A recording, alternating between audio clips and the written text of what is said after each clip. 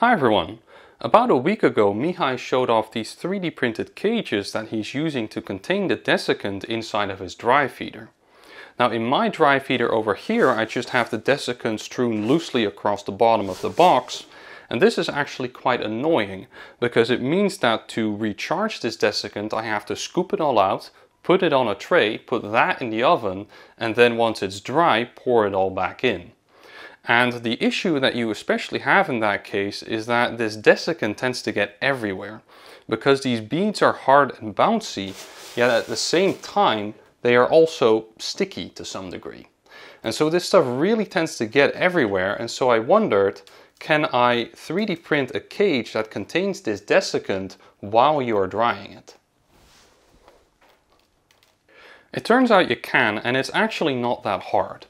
So here I have a basic ABS box and if we look through it like this you can see that the bottom here has this grid pattern in it and then you can put your desiccant inside of it and then finally you just add a lid on the top to contain the desiccant. Now the next question is whether you can dry the desiccant while it's inside of there and in fact you can. Now the general recommendation for drying this stuff is 120 degrees in the oven, but I found that if I put it in my food dehydrator at just 80 degrees, it also recharges up to this nice orange color. And at that 80 degrees, these ABS boxes hold up just fine. Here's the Fusion 360 design for the cage and as you can see it's really just a hollow box. And then on the top here there's a little locating groove where the top lid can go into. Now the secret here, if you could even call it that, is to go into your slicer and select zero top and bottom layers and then the bottom of the box and also of the top lid if you print that separately uh, becomes infill and then you just select an infill density and a pattern that you like. Now I initially went for lines infill to save on a little bit of material but that gave a really floppy end result so in the end I just settled on triangles. Another interesting idea is to use gyroid infill because in that case the walls too can become infill and those then become permeable as well. So I'll leave a link to a relevant Reddit thread down below. Once you've 3D printed a box and a lid, you can just pour some desiccant into the box and then put the lid on like this. Now to keep the lid in place I use just a little bit of glue, specifically this Pattex 100% glue and I just put a little bit of it on a piece of paper like this and then I just use the back end of a small drill bit to just smear it out across the inner lip here so that the lid would remain in place. This doesn't have to be the world's best ever glue joint, just enough to keep that lid in place. Now you could probably also do this with acetone, but I didn't really have a good way to apply the acetone to this inner lip here. Uh, but if you use a syringe that might be possible.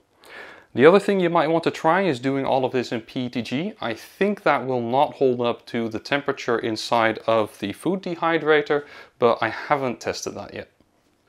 I'll probably design a new dry feeder in the near future and now there are three improvements that I want to make.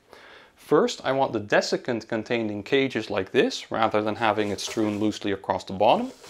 Second, I want to give myself the option at least of adding a small and cheap hygrometer like this one to the front of the box. And finally, the hole at the moment for the filament to come out is in the lid here. And this is actually quite annoying because now I first have to add the roll of filament like this. Then I have to take the filament off of the spool, thread that through the hole here and then I can finally put the lid on like so. And that just becomes a whole lot more convenient if the hole is just part of the base. So that probably means that the base will become quite a bit taller and then the lid will be much smaller and flatter. Now at the moment this thing is small enough to print on an Ender 3. So if I take a ruler like this real quick you can see that the total length of this thing is about just under 22 centimeters, so that fits on the bed of an Ender 3, and I do hope I can keep it that way. If you'd like me to record as I design this thing in Fusion 360, please leave a comment to that effect down below.